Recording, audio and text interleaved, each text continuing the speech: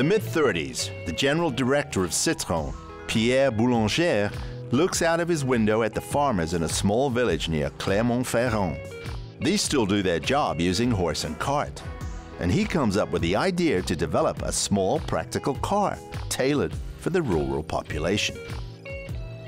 End of 1937, the development of a small Citroën model begins, expected to cost no more than 5,000 francs. Citroën commissions the work to André Lefebvre and Flaminio Bertoni.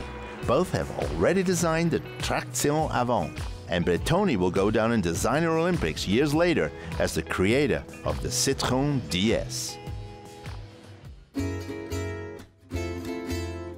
The first prototypes of the model called TPV roll in November 1937. And then in the summer of 39, the decision is made to go to series production.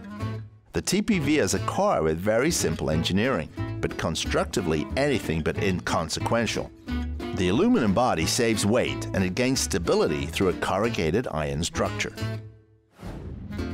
The two-cylinder boxer engine of the TPV is still water-cooled and manages a meager 6 horsepower. Top speed, 50 kilometers an hour.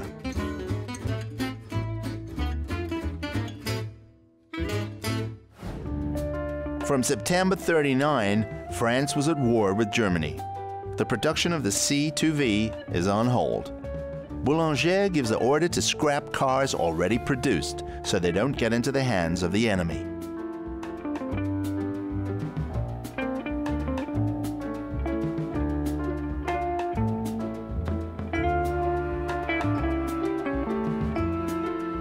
Only five models of these duck prototypes are said to have survived.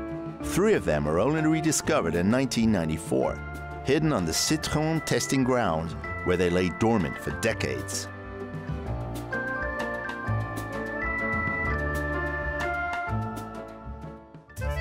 But the evolution of the 2CV Citroën does not stop during the war. The results are presented in 1948 at the Paris Motor Show.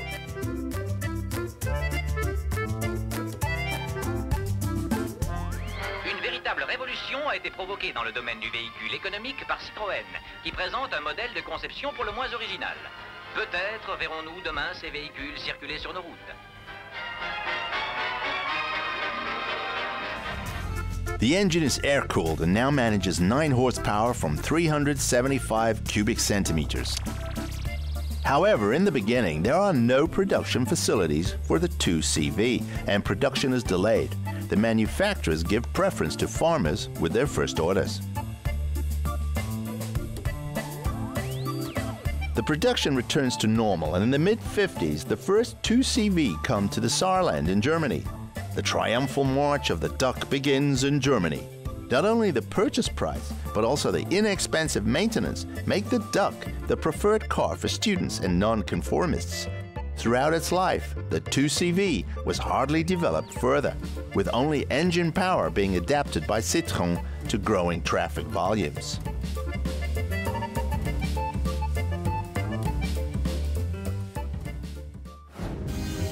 Contrary to the custom that all duck drivers greeted each other on the road, the drivers of the 1981 special model, the Charleston Duck, were ignored.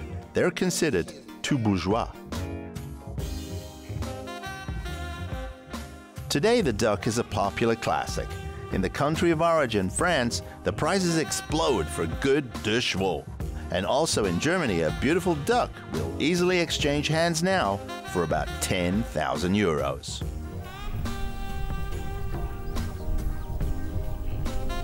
The Citroën Duck is like no other vehicle for French driving feeling.